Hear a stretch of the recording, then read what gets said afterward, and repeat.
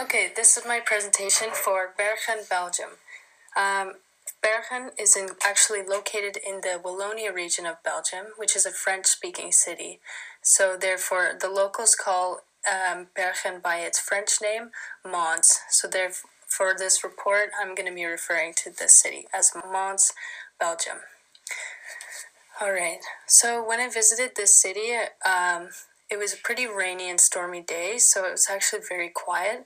But typically, uh, according to the locals, this is actually a very busy city, and there's a lot of tourists all year round, mostly in the spring and the fall. Um, as you can see in the first slides, I visited the Grand Place, that's the bottom left. The on the right is the Church of Saint Waldru. I'm not sure how to pronounce it, but Saint Waldru, and I'll explain that later in the presentation. Um, and then the top left is also the inside of the Church of Waldru, and then the top right is another angle of the Grand Place, and then the building on the left with the Belgian flag is the City Hall. And then you can also see another tower. So, some geographical info about uh, Mons. It is in southwestern uh, Belgium, located in the Wallonia region. So, it's French speaking and it's about an hour and 15 minutes from Ghent by car. It's only 21 kilometers from the border of France, so it's very common for French tourists to come and visit. And it's very well connected with highways and um, highways, trains, and it even has an airport. So it's very easy to access. Um, the population as of 2019 was 95,613 residents. However, because of the greater Mons area, like the all the smaller towns around it, it's around 250,000 residents in the total grand area. It's also very, it has a lot of schools, so the, most of the population in Mons during the, the year is actually students. And the history behind it is it used to be a mining town and was also a very pivotal moment in uh, World War One. Some tourist attractions. So in Mons, Mons has over seven museums and is actually considered an architectural marvel, attracting a lot of architects to see its Gothic and neoclassical style architecture. And Mons is also home to a UNESCO World Heritage Site and a World UNESCO uh, World Heritage Festival. So it's a very historical city and has a lot of character and charm. Some of the attractions listed on the next slide are museums. So this is a list of some of the museums. The most famous ones known to tourists are the Museum of Doudou, the Museum uh, Maison Van Gogh, uh, BAM, the Museum of Fine Art, and the Mons Memorial Museum. The Mons Memorial Museum is a actually a World War museum, um, remembering the Battle of Mons that happened here. Some public spaces are the Grand Place. That's the, pretty much the most famous one. And then the famous building is the Mons Belfry, and some churches. The most famous one is the St. Waltrud Collegiate Church and the St. Col- uh, Collegiate Church. Okay, so first main attraction we have is the Mons Belfry. It's actually UNESCO World Heritage Site and stands 87 meters tall. This is actually built in the 17th century, and throughout the year it has 49 chiming bells that ring out a traditional song throughout the year. I didn't hear any of this, so I don't think it's every single day that they play. So, yeah. Then we have the Grand Place, which is the main square and the heart of Mons. It's actually lined full of patios and restaurants and little pubs, and during the year it's very popular and very busy here. Um, this is where the main hotel and the uh, town hall are as well. And um, yeah, I went and sat in a little pub there and was able to try one of the local beers. I can't remember, the, it was called something like the the Grinch or the Goblin. Next up is the BAM or BAM, the Museum of Fine Art. Um, throughout the years, they've had many memorable exhibitions like Andy Warhol in 2014 and Van Gogh in 2015. But for the most part, it's modern art. So, some of the gastronomical specialties for this area is pork chop la berdouille. It uh, translates to pork chop in the mud, which is a pork chop eh, with a wine sauce, mustard, shallots, and pickles, and is typically known to be in Mons. Um, and it's more of a high end meal, so I didn't actually end up trying it.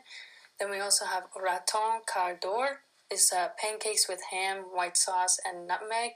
And then one of their famous cheese is the Le Pave Montois, and it's a soft rind cheese of cow's milk. And then on this slide, we have some of the um, famous or just known exports of Mons. So a lot of honey or butchers, chocolates, uh, etc. Now we're at the historical link. So, so now we're on to the historical link. So Mons is most well known in history for their efforts, actually more just involvement in World War One during the Battle of Mons. But we'll go right to the beginning. During the 7th century, Romans occupied Mons. The name Mons actually means hill in Latin. So during the time that the Romans had set up a camp on the main hill in Mons, that's where the city got its name from, and it's actually where the belfry stands today. Mons was actually very industrial at, uh, during the 16th century and um, was a known to be a, uh, a mining town. Then later on, by the 18th century, it was later occupied by Dutch, Spanish, French, and English armies and forces. Were taken over by a French nobility called Vaudreuil, and that's actually why one of the churches is named after that. And there's actually a festival called the Festival of Doudou as well. And around nine, around the 1400s, they started to build castles, a town hall, a clock tower, and then through all these advancements, Mons became a really strong leader in trade, goods, and craftsmen, and very prosperous. After the independence of 1830, Belgium underwent rapid industrialization, and Mons started to become more of a military town, setting up railways and canals. By the 1900s, it was fully established. As of August 23, 1914, the British Army stepped foot into Belgium, actually in Mons, and it was the first battle fought against World War, uh, the first battle fought against Germany in World War One by the British Army and was actually the first British soldier to die by the hands of Germany in, at this battle. So the hills and the canals in Mons actually created a very complicated terrain for this battle and resulted actually in the British losing to the Germans as they were extremely outnumbered. And this leads to the Mons Memorial Museum. So the first and last British men to fall during conflict actually both died in Mons, so making it the first and the last. For now, it stands as a memorial for both Commonwealth and German soldiers, and they're buried together, being a symbol of being a symbol of being united in peace for eternity, and now being called the Garden of Peace. This is the Mons Memorial um, Museum and bur- Burial Ground. So now to the interview. I interviewed one of the local people. Couldn't find a lot of locals, so I actually interviewed the tourism place. And uh, this lady, her name is Aurelie, and she's 27. So one of my first questions for her was, "Do you live here?" And she does, but she hasn't lived here her whole life, only one year.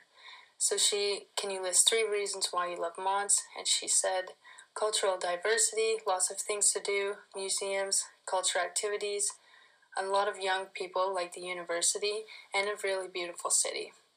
Is there a lot of tourism here? And she said, Yes, Mons was just named the European capital, uh, just named the European cultural capital in 2015, but most of the tourism is from April to June, All Saints Day, and September. Is there a specialty? F- and then I asked, Is there a specialty food or drink here in Mons? And she said there was a pork chop with special sauce. It's called a mud sauce and pickles. So that's her referring to the pork chop Le Berdouille. Um, for a special drink here, there's a lot of local breweries, so there's a lot of local beers to choose from. But the most famous one is the the Beer La Montaz. And if you were here for one day, what sightseeing thing would you recommend for a tourist? and she said the old city center or the Belfort. So, for my personal observations, at this time the city was really quiet, but the, for the people that I met, they're all really friendly and they're all accustomed to tourists and very welcoming. Um, the cultures must be very vibrant and enjoyable, and the city has a lot of rich culture and historic meaning. So it would be cool if I had the chance to go back and visit on a nice warm spring day because I think it would be really cool. So that was my Mons presentation. Thanks for listening.